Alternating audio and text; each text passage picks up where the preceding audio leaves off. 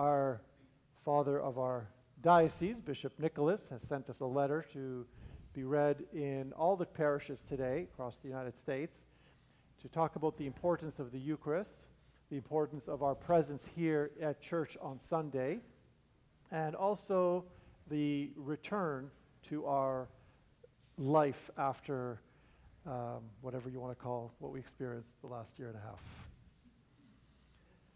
Dear brothers and sisters in Christ, the Eucharist is our lifeline. Without it, we cannot live. The Sunday Divine Liturgy is the community celebration of Christ in our midst, the event that unites us all together as the body of Christ. Celebrating the Eucharist is not just a commandment of the church, but an inner necessity.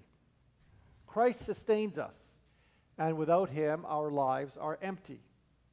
It is time to return to full parish life with precautions and to come back to church weekly to participate in the Lord's banquet and receive Him in Holy Communion, by which we become the body of Christ. Participating in the divine liturgy is the best way to remember the Sabbath and to keep it holy, the third commandment from the Old Testament. The Lord Himself rested after six days of creation and blessed the Sabbath day and made it holy. We read that in Exodus chapter 20. In the gospel account, we see Jesus observing the Sabbath by going to the synagogue and teaching there. We mirror the life of Christ by conforming to what Jesus himself did. At the Last Supper, Jesus commanded us to take and eat and drink and to do it in his memory.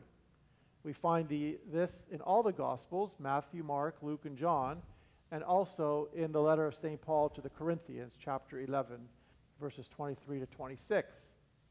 The Eucharist is our food on life's journey, filling us with joy and transforming us to be witnesses of Christ in the world. It has been a long and difficult year since March 2020. Many have experienced great pain and suffering during the pandemic. Many have died, and many are still recovering from the long term effects of COVID 19. We honor the heroes, nurses, doctors, and all medical professionals who brought comfort along with priests who brought the sacraments of the sick to COVID patients. Now, as we trust in the Lord and with great confidence in the vaccines, our lives are opening up to more activity. It is time to return to the obligation of Sunday Divine Liturgy.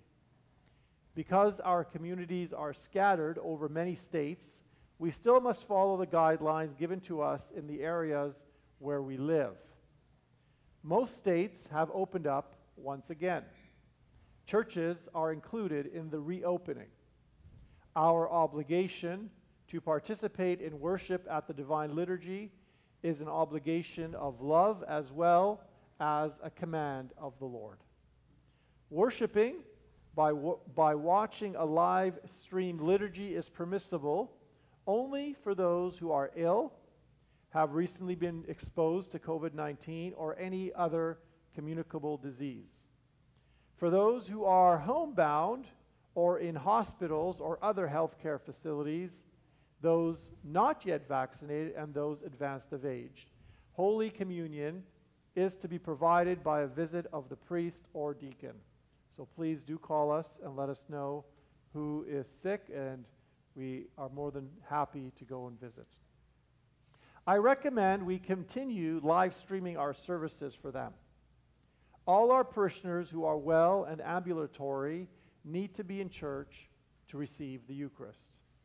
This obligation to return to Sunday Divine Liturgy attendance becomes effective June 27th, 2021. We look forward to welcoming all our faithful back to the celebration of Divine Liturgy after this long and difficult year. Most Reverend Bishop Nicholas J. Samra, Eparchial Bishop of Newton. So, on behalf of myself as well, it's good to see your faces good to see you back in church, and uh, let us continue to plan for the future of our parish. I continue to pray for each and every one of us here present and for all family members at home.